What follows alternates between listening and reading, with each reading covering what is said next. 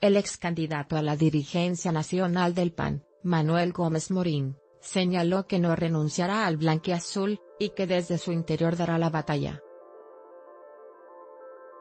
Yo tengo hoy un compromiso con los panistas que me apoyaron, que votaron por mí y mi proyecto, cualquier decisión debe ser con ellos, la militancia, e insisto, la batalla es adentro del partido, señaló. Respecto al nuevo partido que anunciaron Felipe Calderón, y su esposa Margarita Zavala les deseó suerte.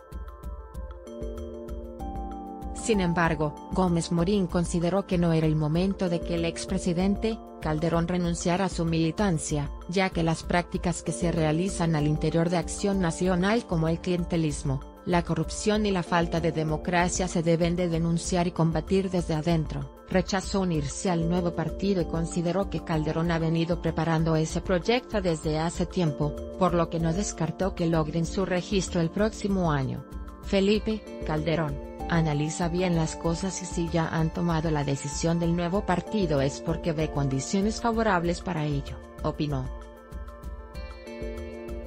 Esa es su decisión y qué mal que haya tomado esa decisión, salirse del PAN, fue la decisión de Felipe, Calderón, de renunciar al partido, especialmente ahora, pero es su decisión y nada podemos hacer al respecto, sentenció.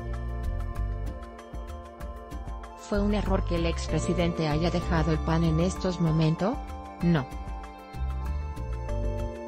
Yo creo que él es una persona que piensa bien las cosas y no se precipita, vio condiciones favorables y lo hizo.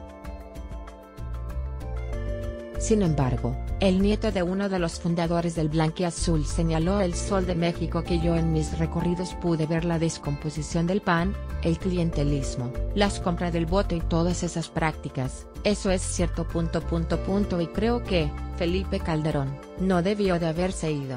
No se unirá al proyecto de Marco Cortés Gómez Morín reiteró que rechaza la invitación que le hizo desde el pasado sábado el ahora presidente electo del Blanquiazul, Marco Cortés Mendoza, para que forme parte de la comisión política del partido, pues consideró que por sus principios no encuentra cabida en la ideología de su contrincante. No se trata de un cargo, sino de denunciar lo mal que se viene haciendo en el partido de parte del grupo de la continuidad, y sobre todo la falta de respeto hacia la militancia del partido denunció. Entrega en constancia La Comisión Organizadora Nacional de Elección del PAN entregará hoy a mediodía la constancia de mayoría Marco Cortés Mendoza como el virtual presidente de ese partido político.